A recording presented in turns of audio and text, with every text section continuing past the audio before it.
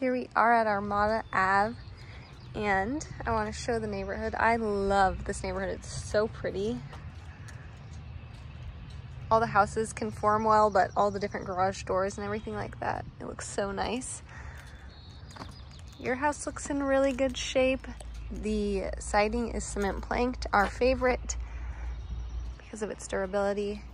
The garage door is in really good shape. The landscaping up is pretty. And then you have at least two car parking out here and then the garage parking as well. So there's street parking lined. You can kind of see where that car is. There's like designated notches for street parking, which is nice. We have the gutters going into a storm drain.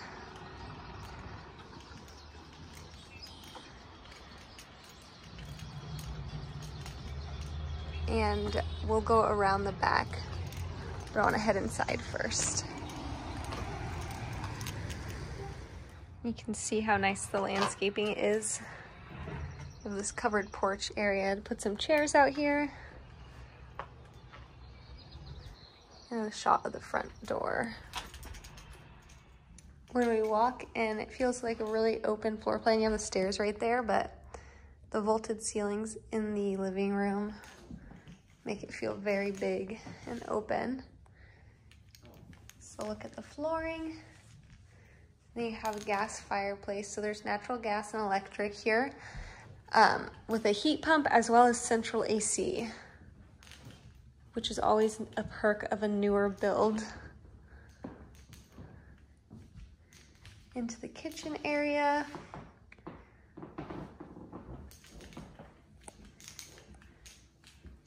All of this conveys with the house. You have that really pretty fridge, just like that um, gunmetal kind of color. And the cabinets, I believe, are, yeah, they're soft close. So that's really nice. The sink and this pantry is amazing. Extra storage up here. You have the wine fridge.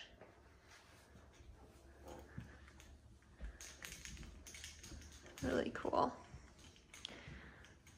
We'll step out on the back at the end here. Go down this hallway. We have two closets right here. A linen and then more of a coat closet off to the right. And then the laundry room, which these convey as well. Nice size here.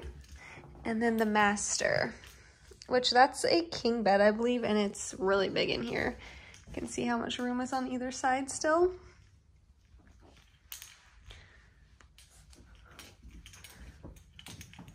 some tile in the bathroom. That looks really pretty. Double vanity, really nice. Then the fiberglass shower. It's kind of a step-in shower with this tub as well. Big closet. And then I'm gonna head back to the front of the house because I didn't step off to the left there where the garage and the powder room is. So back in the living space, right next to the door, you have this kind of guest bath. And then the garage is really nice out here.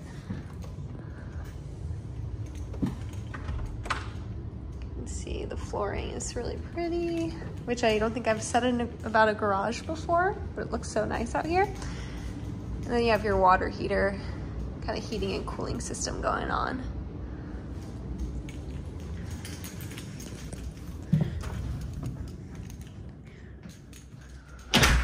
We're gonna take a look upstairs. Okay, off to the right here, this room is massive. I'm sure you can kind of tell on video even though it's hard, but they have an office space and then this bedroom area. No closet in here, doesn't look like, but plenty of room to either put one in or have lots of dressers and storage. So that's nice. Off to the right of that is a bathroom. With that standard fiberglass shower. On that side. And next to that is a linen closet. We have another bedroom. This one's smaller in size, but still decent, bigger than a typical bedroom, I'd say, which you can kind of see with that bed and the two nightstands on either side. And this one does have a closet in it. Moving down the hallway, bedroom number three.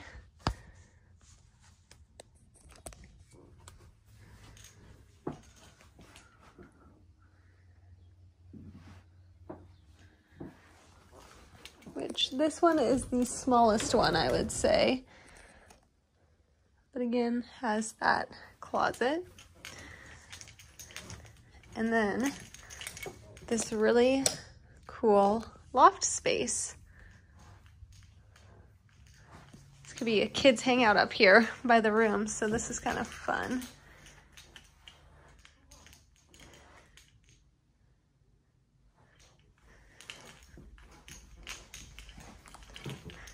We're gonna go down and see the backyard. Okay, we're in the backyard. You can see there's some construction going on up there on that hill.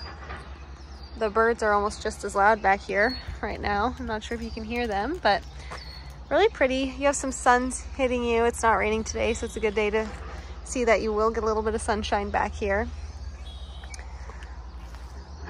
It's nice because you can do some really pretty landscaping, but it's not a ton to maintain have these sun chairs back here, which is a cute idea. Um, and then it's not fully fenced. You have that there, but you're able to walk around to the side of the house back to the front. So there's a better shot of the patio as a whole. And then this has the community parks and trails and everything um, with that annual HOA fee.